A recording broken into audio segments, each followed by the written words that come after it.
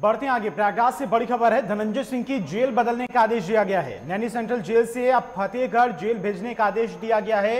UP सरकार के आदेश पर फतेहगढ़ जेल भेजे जाएँगे। प्रयागराज के फ़िलहाल नैनी जेल में धनंजय सिंह बंद हैं और आज ही फतेहगढ़ जेल में शिफ्ट किए जाएँगे।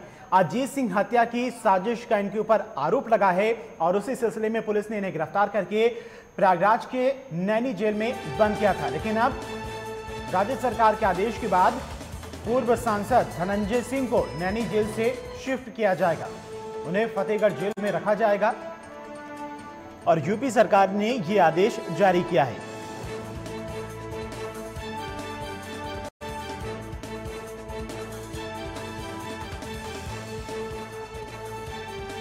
तो पूर्व सांसद धनंजय सिंह के ऊपर अजीत सिंह की हत्या करने का आरोप लगा है, साजिश रचने का आरोप लगा है और इसी सिलसिले में पुलिस ने पूर्व सांसद को गिरफ़्तार करके प्रयागराज के नैनी सेंट्रल जेल में बंद किया था, लेकिन अब यूपी सरकार की तरफ़ से धनंजय सिंह को नैनी सेंट्रल जेल से फतेहगढ़ जेल शिफ्ट किया जाएगा।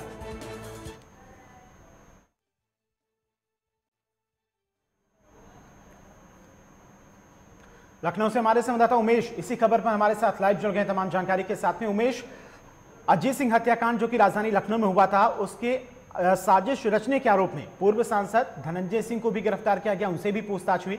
उन्हें फ़िलहाल प्रयागराज के नैनी सेंट्रल जेल में रखा गया था, लेकिन अब उन्हें फतेहगढ़ जेल शिफ्ट किया जा रहा है। क्या कुछ कारण बताया गया राज्य सरकार की तरफ़ से इसके पीछे?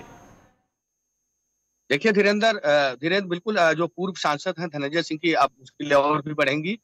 जिस तरह से उन्होंने पुराने एक मामले में जमानत कटवा के जेल की शरण ली थी, लेकिन अब जो नैनी जेल है, प्रयागराज से इनको, जो पूर्व सांसद है, धनंजय सिंह, जिनके ऊपर छह जनवरी को जो विभूति खंड राजधानी लखनऊ में हत्याकांड हुआ था, अजीत सिंह जो पूर्व ब्लॉक प्रमुख है, उसी हत्याकांड में ये पूर्व सांसद धनंजय सिंह आरोपी भी है। कहीं ना कहीं अब लेकिन जो नैनी जेल है, नैनी जेल से इनको फतेहगढ़ जेल लाया जाएगा। तो ये माना जा रहा है कि कहीं उनको सुविधाओं का लाभ ना मिल पाए और दूरी रहने के कारण तमाम चीज़ों पे ध्यान दिया जा सकता है और शायद यही वजह है सुरक्षा के दृष्टिकोण से भी जेल विभाग अब उनकी जो शिफ्टिंग है, आज कर दी जाएगी। पूरे लव लश्कर के साथ तमाम भारी पुलिस बल उनकी सुरक्षा में लगे हैं। उसके बाद उनको पूरी सुरक्षा के बंदोबस्त, इंतज़ाम के मद्देनजर उनको वहाँ तक पहुँचाया जाएगा।